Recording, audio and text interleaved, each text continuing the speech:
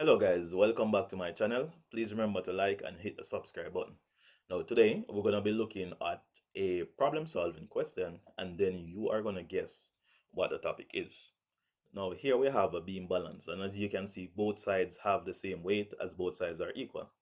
Now we're going to think of each small block as one kilograms. Alright, so each of these small blocks is equal to one kilograms. And this bag over here, we don't know what that bag is equal to. So your task is to find the mass of that bag. Now, if this was a scale that was even being used back in the past, then they would have to find some way to find a balance here. So what am I going to do? Hmm. If I only want the mass of the bag, then I only need to have the bag on that side. So it means that each of these one kilograms and I have three kilograms over here, I'm going to have to remove them. And that is the only way I'm going to know what the mass of the bag is. So let's go right ahead. So from the left, I remove one of those mass, but this is what happens. It is no longer equal. Both sides are no longer balanced.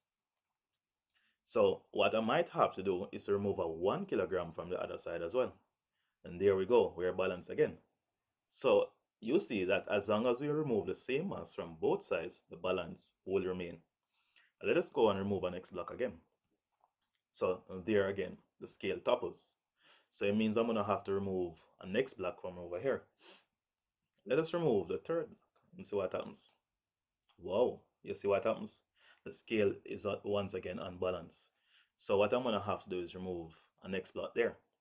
Now, now that I only have the bag that I want on the left, and on the right, I have one, two, three, four, five, six blocks. I can tell because this scale is balanced that this bag of flour is equal to 6 kilograms, seeing that each block is equal to 1 kilogram. So the idea here is that if we remove the same mass from both sides, we can maintain the balance.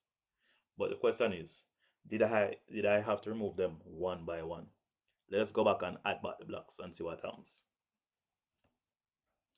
All right, let us say we went ahead and we removed all three blocks from the left hand side because we want the mass of that bag. So let's go remove all three of them. So one, two, three. You can see that this thing is balanced. Now bear in mind that we had just removed three kilograms from the left. What about the right hand side? Now let us start removing and see what happens. So we remove one, it's still unbalanced. We remove two, it is still unbalanced. We remove three, and there we go. We have a balance. So we could have actually removed three kilograms from both sides at the same time, right? But we wouldn't have known what the mass of the bag is, so we had chosen to remove them one by one. We're going to add back the blocks and see if we can model this algebraically. So we add back the three blocks, let me remove that there, and we add back the three blocks over here. Now bear in mind that we started this system knowing that each block has a mass of one kilogram. However, we did not know what the mass of the bag is. Now, in math, when something is not known, it can be generally represented by a variable, or we call it an unknown. So, what I could say is let the mass of the bag be x. So, we're going to call mass of bag x. Why do I call it x? We call it x because we don't know what it is. It is an unknown. However, we know that x plus 3 kilograms that we have on the left there was actually equal to, and we can count what is on the right. So we have 1, 2, 3, 4, 5, 6, 7, 8, 9 was equal to 9 kilograms. Now, some of us can go ahead and say, all right, if x plus 3 is equal to 9, then of course the mass x must be 6 because we know that when we add 6 to 3 we get 9 but how do we show this procedurally because our intention of finding out what the mass of the bag is we had to remove those 3 kilograms on the left here so let's go ahead and do it again so we have one, two, three. but once we do that the scale is now unbalanced so we actually have to remove those three from the other side to keep that balance so let us see how we do that algebraically. So let us move back over to our equation. We have x plus 3 equal 9.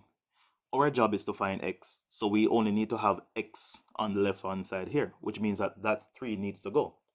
So what did we do? What we did was to subtract 3 from that side. But then the right hand side would be unbalanced. So we had to remove 3 from that side as well. So we have x, we have x plus 3. To get x by itself, we have to subtract 3. But to keep it balanced or to keep it as an equation, we also have to remove 3 from the right hand side. So once we go now, we can say 3 minus 3 is 0, which leaves me with x on the left, and this is equal to 6 on the right hand side. So that is actually what we did. And as you can see here, one bag is equal to six blocks. So we know that the mass of the bag is actually six kilograms. Now here's the next scenario. On my scale on the left, we have two bags. We don't know what the mass of each bag is. Now on the right, we have, let us count this. We have 1, 2, 3, 4, 5, 6, 7, 8, 9, 10, 11, 12. We have 12 kilograms. Now, most persons can easily guess and say, boy, if one bag, well, if we have two bags equal to 12 kilograms, then of course one bag must be 6. But of course, in algebra, we have to show our procedures. So if we were to go ahead, bear in mind that we have 12 kilograms on the right and we have two bags on the left. If we were to go ahead and subtract and we take off one of the bags here, hmm, so we take off one of the bags the scale is unbalanced. So let us see how many blocks we'll actually have to remove in order to get the balance back. So let us go. So one, two, three, four, five, six. There we go, we have a balance. Bear in mind that we had 12 kilograms over there. And we have gone all the way down to 6 kilograms, which is half of 12. So in essence, what I did was to half both sides which is the same thing as saying we divided both sides by 2. Let us put on back the bag and now create an equation to model this. So we put on back the bag and we're going to add back our 6 blocks over here to get back the balance. And there we go. So let's go to our equation now and see how we can model this.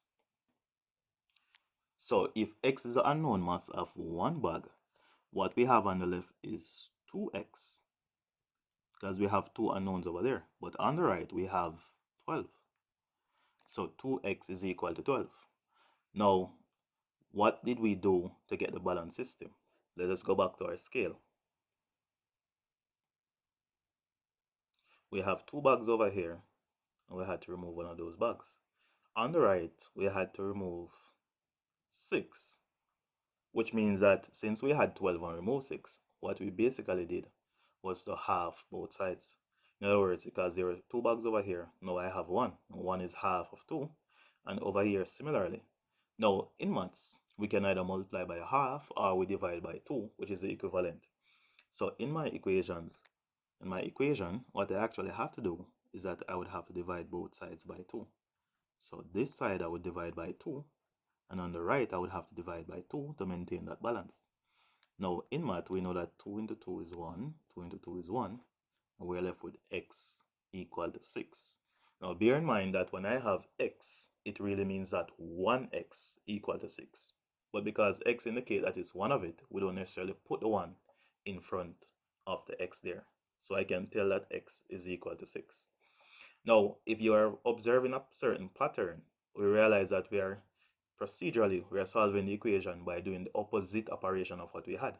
Initially, when we had x plus 3, to get x, we had to subtract 3 from both sides. And now that we have 2x is equal to 12, to get x, we have to divide both sides by 2. So we are doing the opposite operation from a procedural perspective. Let us step up the questions a bit. Now, these questions probably seem more complicated, but really and truly, they follow the same procedure.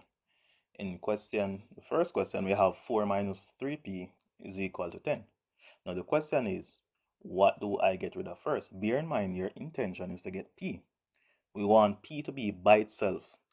And of course, we don't always have to solve from the left-hand side. The P can also be on the right-hand side, but we'll soon talk about that aspect of it.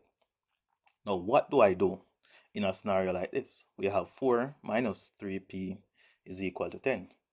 What do I get rid of? Do I get rid of the 4 first, or do I get rid of the minus 3 first? Now, of course, we know the order of operation, but we're doing the reverse now, which means that we more we're going to get rid of the term that is being added or subtracted first, or the term that is furthest away from the p in this case, which is 4. Now, do I add 4 or do I subtract 4? If we examine 4, we notice that 4 is positive. All right, and we could even rewrite this expression to make it easier for ourselves if we feel uncomfortable with this, because this could be written as negative 3p plus 4 equal 10. So it looks more like what we wanted. We don't need to rewrite it, but this is what it really means. So it means that I would have to subtract 4 first. So we have negative 3p plus 4 minus 4 is equal to 10 minus 4.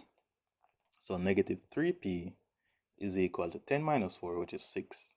And we divide both sides by negative 3.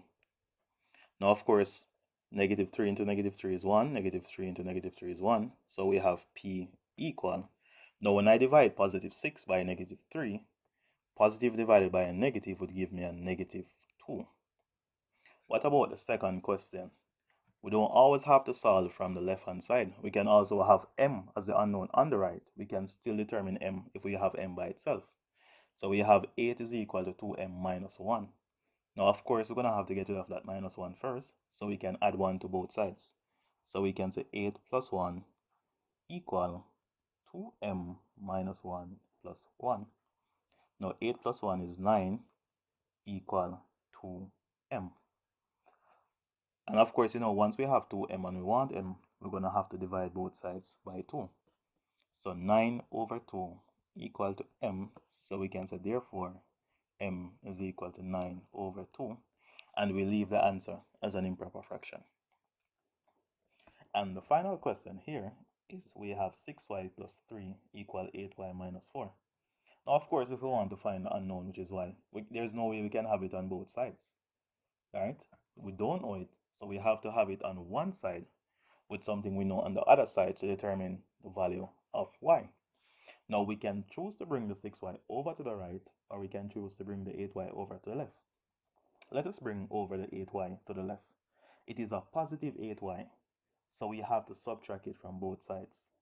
So we can say 6y minus 8y. Of course, at this moment, the 3 is unaffected, so we put it back. This would be equal to 8y minus 8y minus 4. Now, when I have 6y and I subtract 8y, I'm going to have negative 2y plus 3. And of course, on the right, that would be 0. So I'll be left with a negative 4. So we have, now we can get rid of, this looks familiar now, so we can get rid of the 3. It's a positive 3, so we subtract 3 from both sides. So we have negative 2y plus 3 minus 3 is equal to negative 4 minus 3. So negative 2y is equal to negative 7. How do I get y?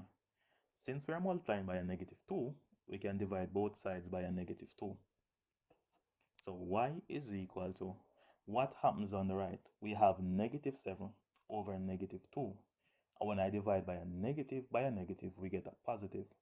So this goes, so we have 7 over 2 and we'll leave it as an improper fraction. Alright, we're gonna, now going to look at how we manually solve these equations. Bear in mind from our scale, we realize that in order to get rid of what we never wanted, we had to do the opposite operation. So looking at question A, we know that 2x, x is the unknown, we want x by itself because our job is to find x, plus 4 is equal to 10. So my task is to get the value of x. So what am I going to have to do? Now we have 2x plus 4 is equal to 10, which means I need to get rid of that plus 4 first. So because it's plus 4, we need to get rid of it. We subtract it from both sides. If you think of the balance, in order to keep the balance, whatever we do to one side, we have to do it to the other side. So we're going to have 2x plus 4. We subtract that 4, so we have to take it from the right hand side as well. 10 minus 4. Once we have done that, the balance will be maintained. So we now know that 2x is equal to 6. Now, how do I get x? If 2x is equal to 6, what do I do to get 6?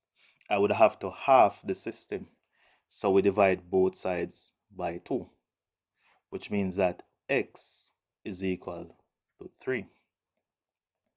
Looking at the second example, we have 3x minus 6 is equal to 12.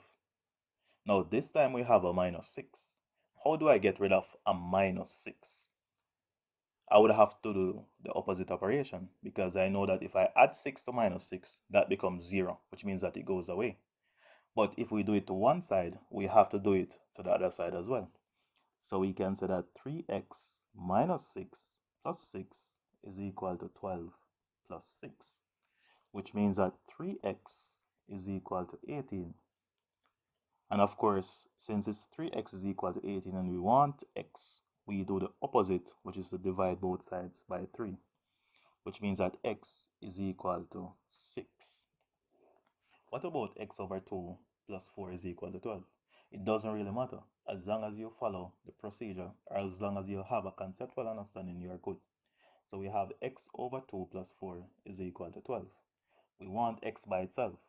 So we're going to have to start by getting rid of the plus 4. And normally, here's a way to remember it. What's the first thing I do? We say that x over 2 plus 4 is equal to 12. The last thing that we call is what we get rid of first. So we have x over 2 plus 4. So we have to get rid of the plus 4 first. So since it's a positive 4, you know we subtract 4 from both sides. So we can say x over 2 plus 4 minus 4 is equal to 12 minus 4.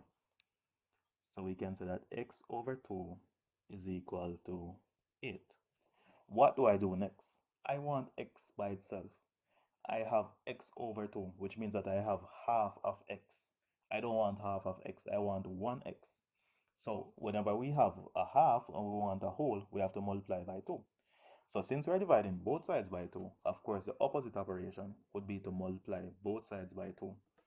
So I'm going to have x over 2 times 2 is equal to 8 times 2. Now what happens? 2 into 2 is 1, 2 into 2 is 1. So I end up with x equal 16.